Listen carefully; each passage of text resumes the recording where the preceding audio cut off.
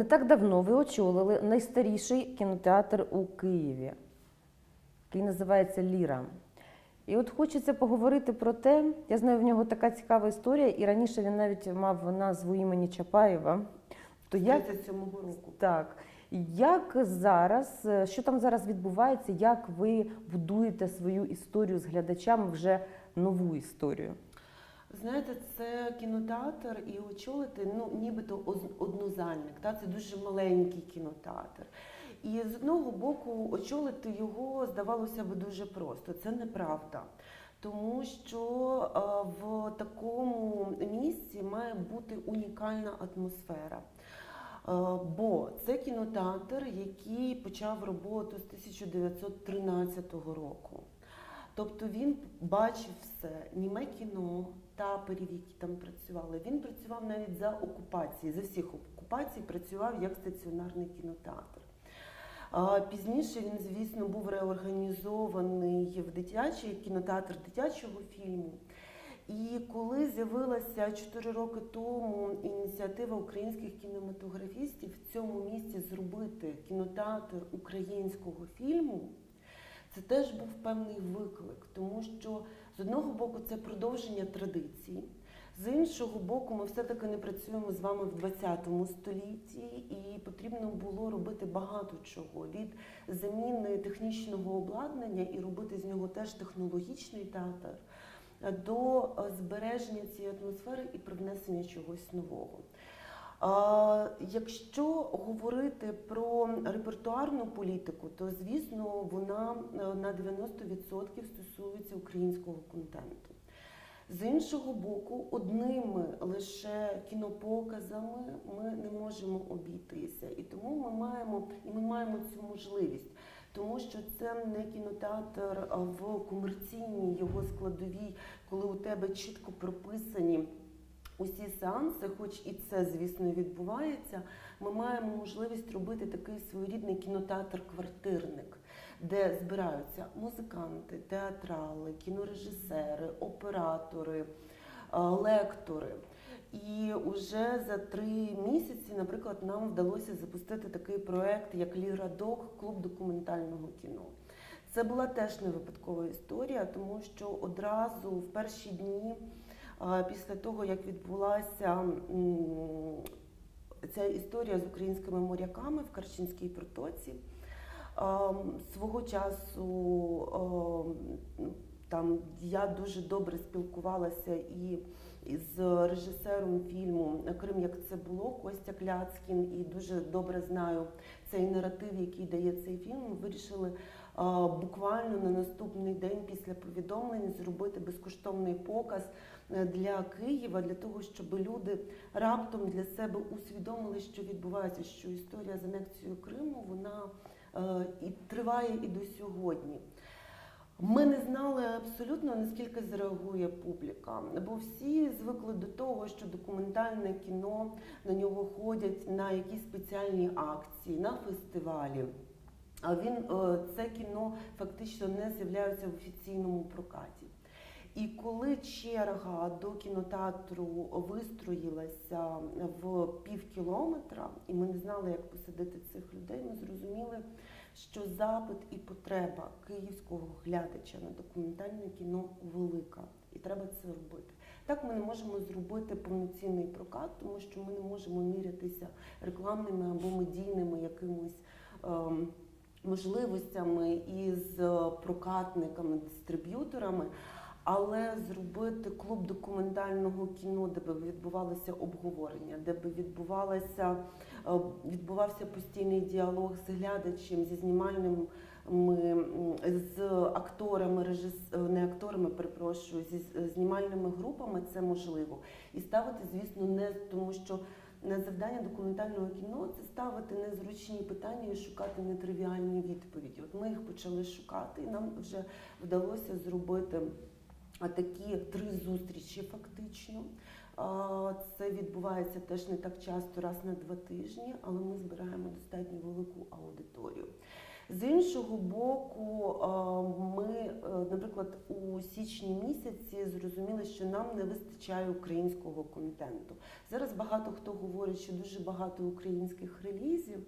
Я, як директорка кінотеатру українського фільму, хочу сказати, що їх не вистачає, тому що фактично за січень місяць вийшло кілька комедій. Глядач кінотеатру Ліра українських комедій.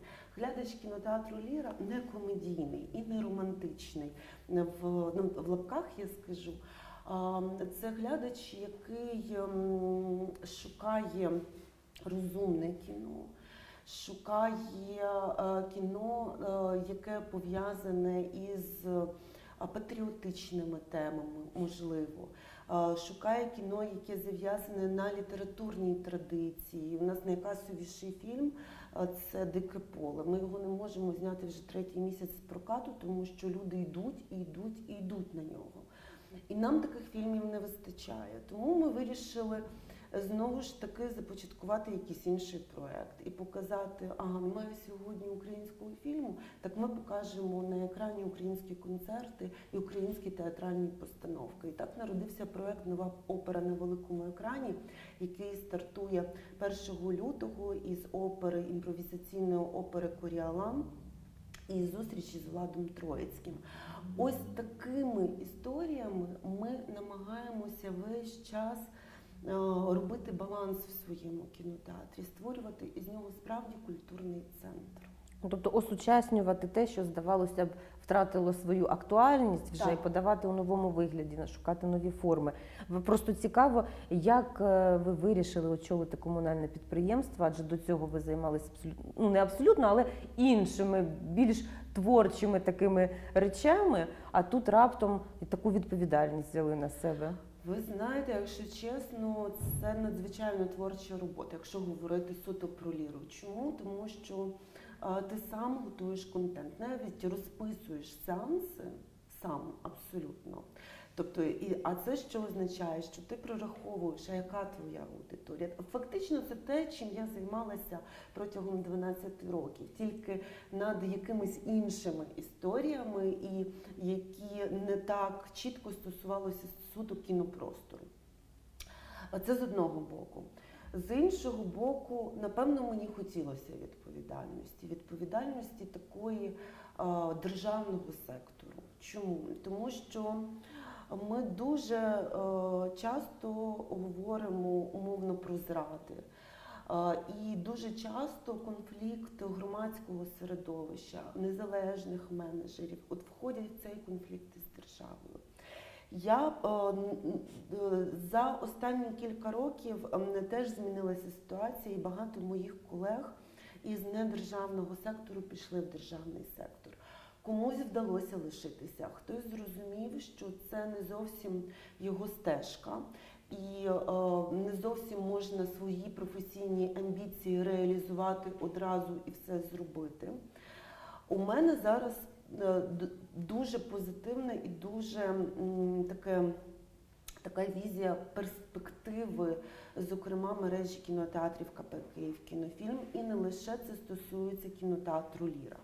Е, Чому? Тому що це дуже великий ресурс, який зосереджується у Києві. Е, Кінотеатр Ліра це частина мережі КП Київ кінофільм. Туди входять е, різні е, кінотеатри, муніципальні кінотеатри.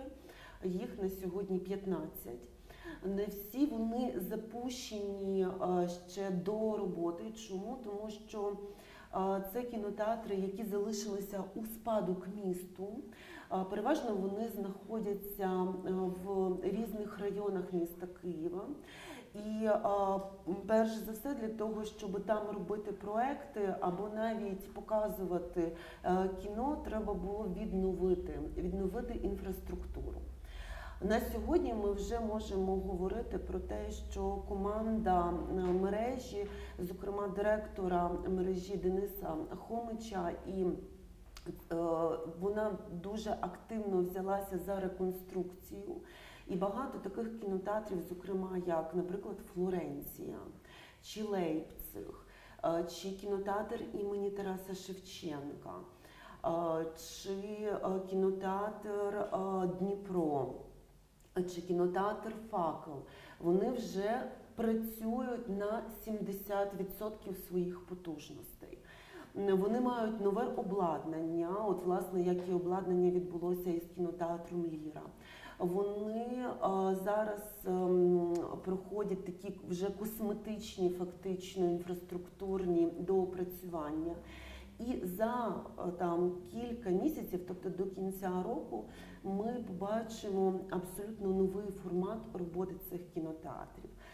Багато хто нарікає і не бачить цих перспектив, тому що власне ці кінотеатри знаходяться е, на в районах. Це не центрові приміщення. Е, Борщагівка, Троєщина, Харківське шосе і таке інше. Але з іншого боку, е, для нас стала нова філософія. Викликом нової філософії є те, що ми будемо робити не лише кінотеатр, а й культуру е, в, в кроковій доступності до свого глядача. Е, Так, перед ефіром ви сказали про культурну децентралізацію. Так, це культурна децентралізація в самому місті Києві, і це дуже важливо. Тому що якщо ми зараз з вами, і тепер я можу говорити як людина, яка прийшла в державний сектор із незалежного сектору. Ні для кого не секрет, що десь відсотків лише на 5 і державний, і недержавний сектор залучає київську громаду до культури. Ми бачимо з одного боку поступ, запит глядача, запит відвідувача культурних заходів. А з іншого боку, ми на 60-50% бачимо одних і тих самих людей, глядачів у наших центрових майданчиках. Чому так відбувається? Тому що якщо ти живеш віддалено від центру, ти завжди можеш свій графік підлаштувати під те саме кіно, під той самий концерт, під ту саму театральну виставу, під, під навіть е, фестиваль. А, оця крокова доступність дає тобі можливість все-таки розширити е, спектр е, твоїх культурних зацікавлень. Це надзвичайно необхідна річ, і та от власне в цьому для мене е, велика зацікавленість бути в цьому секторі, бути причетною уже зараз до цих великих змін, які відбуваються в Києві, а вони відбуваються. Е, Чи можуть комунальні кінотеатри стати прибутковими? Чи вони будуть працювати ну, так, як і зараз, добре працювати, але все ж таки говорити про прибутки е, не можна? Взагалі, як формується цінова політика? Ось що цікаво, тому що ви говорите, ми зробили безкоштовний сеанс, правильно? Люди Мгм. прийшли. Але ж якщо ви зробили безкоштовний, то це значить е, десь вам треба на чомусь іншому якось ці гроші повернути, заробити. Як це відбувається? Ну насправді е, не все так погано, і насправді можна говорити вже про прибутковість кінотеатрів в мережі. Так, е, цінова політика це теж доступність квитків для киян. Ліра це взагалі окрема ніби історія, тому що це окрема ніша. Хоча треба сказати, що за ці три місяці нам вдалося не лише підвищити кількість е, глядачів у кінотеатрі, але й фактично забезпечувати цими квитками. Квитки в кінотеатрі Ліра це 40 і 50 гривень, 40 гривень денні сеанси, 50 гривень вечірні сеанси. Повністю кількістю глядачів забезпечувати нашу роботу і навіть оплачувати комуналку. Тобто, ну ми вийшли в нуль, це вже добре. Такі кінотеатри, як Лейпциг, як Флоренція, Київська Русь, вони є прибутковими. Звісно, ем, якщо говорити про інфраструктуру, то ще до кінця своїми силами ми не можемо забезпечити усі інфраструктурні зміни. Але за минулий е, рік е, свої кошти, які були реінвестовані в інфраструктуру, в ремонти, в заміну обладнання, це 17 мільйонів гривень. Це не така маленька сума. Все, е, комуналь, тобто комунальне підприємство воно не фінансується з бюджету міста. Зарплати, комунальні послуги, е, там е, заміна, ну якесь прибирання, облаштування територій це все робиться власним коштом. А що фінансує держава в такому випадку? Тому що Не я думаю, що наші глядачі також не, не дуже розуміють, як це відбувається. На сьогодні е, не держава, а місто. То, звісно, долучається е, до того, щоб робити капітальні ремонти в місті Києві. Але це знову ж таки це конкурсні історії. Тобто, це не історія така, що а вам треба 20 мільйонів нати. Тобто ти проходиш теж теж конкурсну процедуру. Тобто це своєрідні такі грантові програми для існування а, теж ем, цієї інфраструктури міста. Але з іншого боку, ем, такий європейський досвід. Та? Це абсолютно європейська теж традиція. В Німеччині існує асоціація комунальних кінотеатрів, їх для всієї Німеччини є 157. І е, так, щоб ви розуміли, там взагалі існує інша система. Там кожна земля, в якій є комунальні кінотеатри, платить за відвідування одного глядача одне євро в місяць. І це е, гарантований внесок землі або міста в існування цього кінотеатру. Так, такої системи у нас немає. Але якщо не знаю, можливо, колись і така система буде. Е, Хоча знову ж таки е, ресурс і можливості комунальних кінотеатрів заробляти кошти вони є, і вони вже сьогодні дають свої результати. Знову ж таки, для е, якщо подивитися на, на цей культурний сектор, ну ні для кого не секрет, що нам треба більше всім залучати приватні кошти, кошти грантових програм.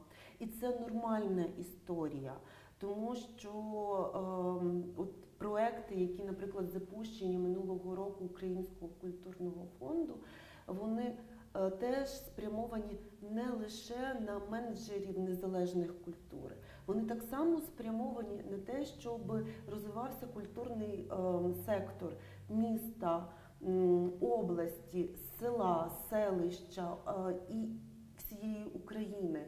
Ем, Тому залучати треба якомога більше, бо я завжди говорила, що саме культура є найкращою інвестицією в майбутнє. Дивіться, ем, економіка, е, реформи це все дуже важливо. Але будь-яку країну через 100 років ми будемо бачити лише через інвестицію в культуру. Бо ми говоримо там про Австрію як про країну таких-то композиторів, таких-то художників, так те саме з Британією і всіма іншими країнами. Ми не говоримо про них як про країну конкретного президента чи конкретного бізнесмена, який заробив багато коштів. Ми говоримо завжди про країну, яка має культурний ресурс. От, власне, це завдання, ну мені здається, сьогодні е, як для об'єднавчий такий е, аспект для кожного з нас, хто працює в культурному секторі України. Ви говорите про е, те, що потрібно залучати інвесторів, але ж потрібно і також плідно співпрацювати з е, місцевими органами влади. Наскільки у вас ця співпраця складається? Наскільки вони готові вам допомагати? Знають про ваші потреби? Ми дуже активно, звісно, співпрацюємо з департаментом культури. І, і ну, департамент культури це Взагалі, чи впливають вони якось на вашу роботу? От ви говорите, що ви власне самі формуєте і репертуар, і все. Є- Якісь є від них, можливо, побажання з формування репертуару? Чи, чи це не так все Ми, відбувається? ми підпорядковуємося департаменту культури, але я би говорила більше, е, що це формат співпраці, величезної співпраці. І зараз команда департаменту культури допомагає в різних комунікаціях, зокрема із міською владою. І напевно, от департамент культури в нього і є ця найважливіша роль комунікатора, до- донесення того, наскільки будь-яка ланка, яка сьогодні існує в комунальному секторі культури, важлива для самого міста, тому що, звісно, в органах державної влади дуже багато завдань: дороги, лікарні, освіта. Культура дуже важливо, мені здається, те, що зробив департамент культури за ці останні 3-4 роки після, після Революції Гідності, що вже питання культури, і зараз мова не лише про мережу кінотеатрів КП Київ кінофільм, стає на порядку денному постійно в наших органах е, місцевого самоврядування. Це надзвичайно важливо, е, тому що е, раніше було завжди таке враження, що ми працюємо за залишковим принципом. Ага, потрібно провести там якийсь захід, і всі згадують, що є культура, і ще що є там комунальні кінотеатри, чи комунальні музеї, чи комунальні театри.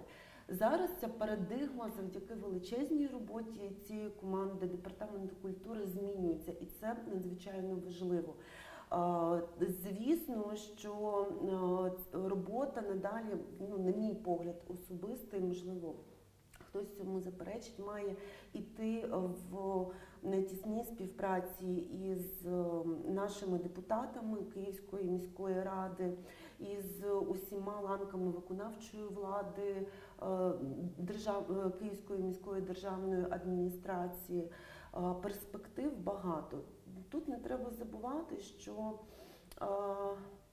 насправді що всі ці зміни відбулися не так давно.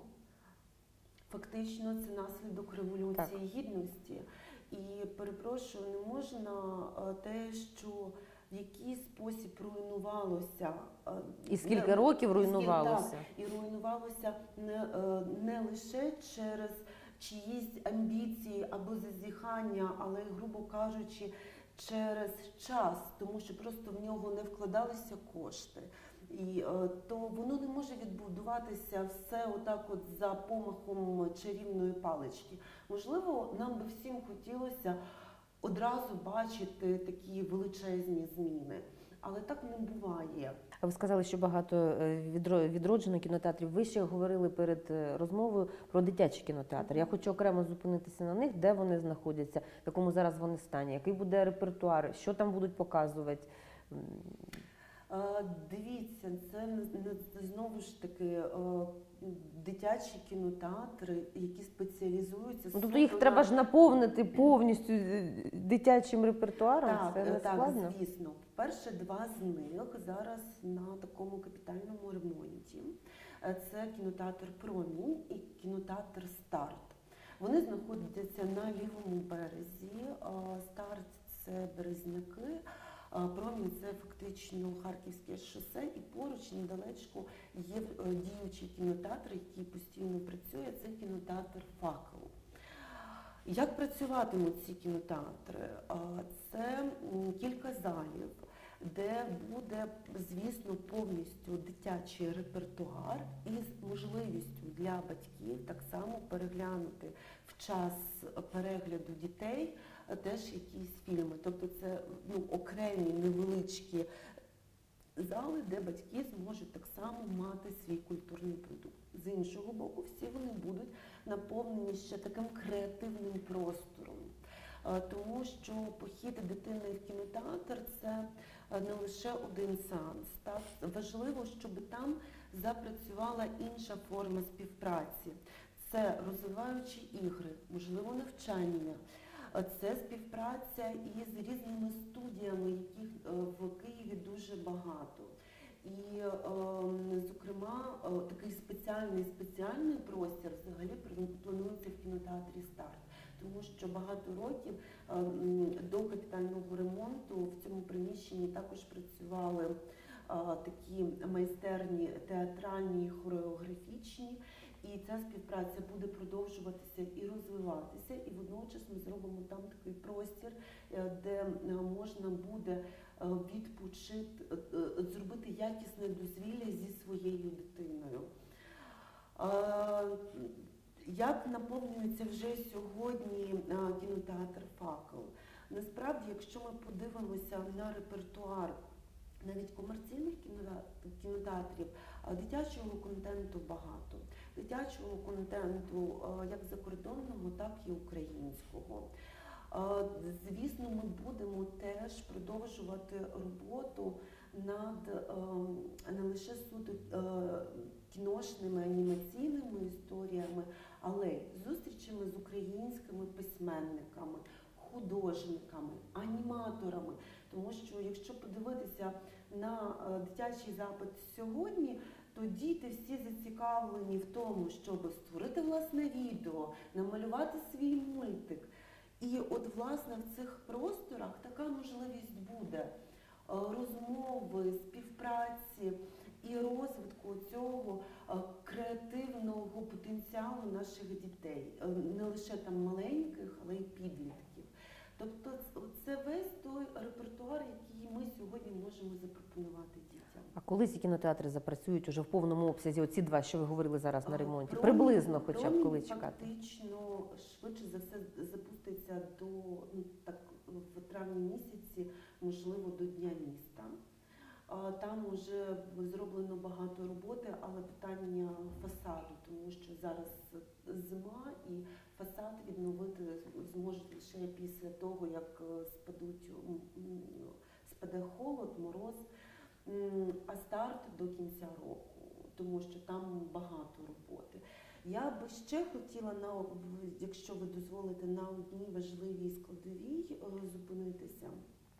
Це збереження. Багато сьогодні говорить, і це важлива тема. Це збереження е, нашої спадщини історичної і мистецької. Е, Ці кінотеатри будувалися в 60-х-70-х роках.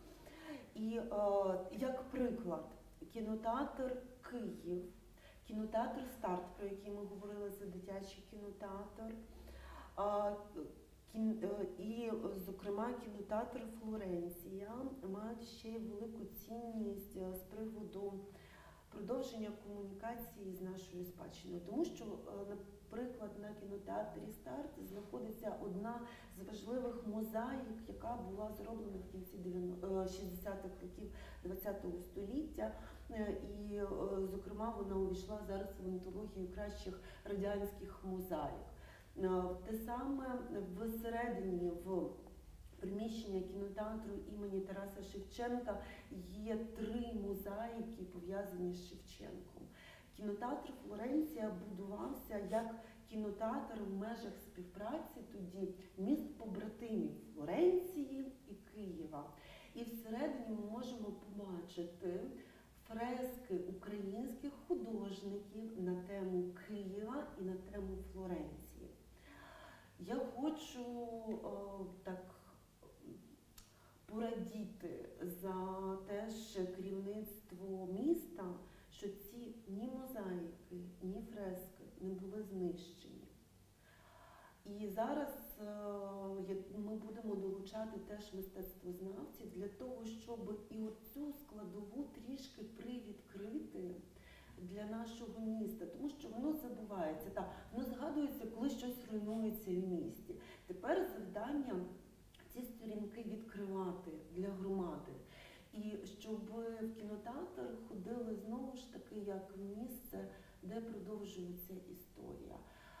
Е, Так само, як е, коли мене запитують, о, а як же ж там, напевно, е, кінотеатр Ліра, однозальник, це ж не вигідно, це вигідно для міста, тому що це от та складова нашої постійної історії, яка триває з 1913 року. Ми не можемо про неї забути, ми не можемо її викинути із е, нашої свідомості. Бо такі місця, за такі місця в усьому світі борються. І такі місця в усьому світі стають тим поштовхом для розвитку нових форм взаємодії із митцями і громадою, із державою і з звичайною людиною, яка в ній мешкає громадянином. І я сподіваюся, що власне цю складову ми теж будемо підтримувати. Хочу ще запитати вас, ем, як людини фахівця, про українське кіно, яке зараз знімається. Ви можете назвати, ем, наприклад, п'ять фільмів останніх, останніх трьох років е, українських, які варті того, щоб їх отак от у вас ретроспективно, ретроспективно показувати через якийсь час? Які це фільми? Звісно, я напевно і більше можу назвати. Це жива ватра, це унікальна стрічка. е, Вона, вона якраз хоч документальна, але вона пройшла і дуже гарно пройшла в прокаті. І це стрічка, яка не залишає нікого байдужим, яка теж е, багато одержала позитивних відгуків і нагород е, в, за кордоном, зокрема. Це стрічка Українські шерифи Романа Бондарчука. Прекрасна, і я вже з ним говорила про те, щоб її знову таки випустити в прокат. Це стрічка Припутні Аркадія Непетелюка, довкола якої було багато розмов, а чи можна так показувати українську, е, українську громаду, українську людину, там українського громадянина. Це важливо, це абсолютно е, на часі ця стрічка. І насправді мені дуже прикро, що е, в прокаті вона не так довго була е, в усіх кінотеатрах. Я думаю, що є резон її показати. Це е, фільм Дике поле, яке в прокаті насправді було дуже короткий період, два тижні. Це фільм на, за романом е, Сергія Жилина «Вор- Во- Ворошиловоград. І е, лише два кінотеатри. Кінотеатр Жовтень, кінотеатр Ліра мав такий продовжений прокат, але в жовтні він вже закінчився. Ми до сих пір його показуємо. На мій погляд, е, просто не встигли люди подивитися цю стрічку, тому що нон-стопом телефонують. Інколи бувають навіть кумедні історії, коли е, з таким е, викликом до нас телефонують і кажуть, а чому вони поставили в суботу е, фільм Дике поле на 19 годину? Ми перепрошуємо, ми вже його крутимо третій місяць. Ми не можемо його кожну щосуботи ставити на 19 годину, просто фізично, тому що є інші релізи. Я не встиг це подивитися. Тобто запит на, на це кіно є. Е, Звісно, це і стрічка Будинок слова, на мій погляд, важлива стрічка. Я сподіваюся, що там далі буде продовження цих історій в іншому форматі. Чекаємо на них.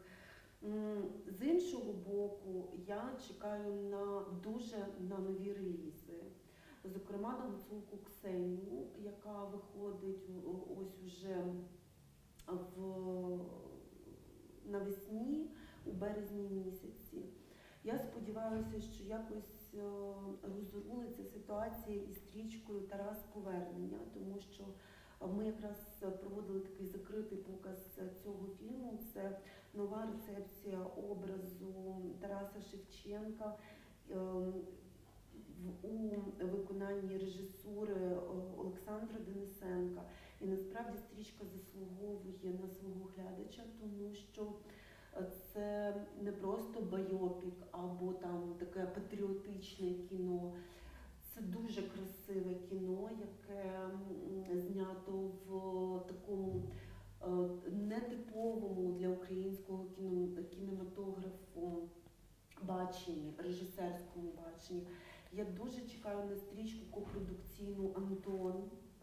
Е, Режисер Заза Урушадзе, це режисер, який е, свого часу, кілька років тому, зі стрічкою Мандарини був номінований на премію Оскар, увійшов у шорт-листи, а зараз робить українську копродукційну стрічку. Вони вже завершили виробництво. От ми чекаємо, коли буде цей реліз. Тобто фільмів е, якісних дуже багато. І, до речі, навіть з'являються якісні комедії. Наприкінці е, минулого року був кіноринок, де е, окремі дні були присвячені новим українським релізам. І хлопці, які займаються такою таким фільмом 5 баксів, не пам'ятаю як продовження. Вони зробили дуже класну річ. Вони вирішили показати нам не тізер, а 15 хвилин фільму. З 15 хвилин, напевно, хвилин 14 лежали всі, тому що це, е, ем, це дуже класне кіно, дуже смішне, але водночас цей гумор не є тривіальним, не є таким нижче плінтуса. І мені подобається та е, сама історія цього продакшну цього фільму, тому що хлопці протягом кількох років мені навіть траплялися ці відео, вони знімали там надзвичайну кінокамеру ем, і викладали в Ютуб окремі е, такі комедійні сюжети. І таким чином вони за 4-5 років напрацювали матеріал, який далі вони перероблюють в повнометражне кіно.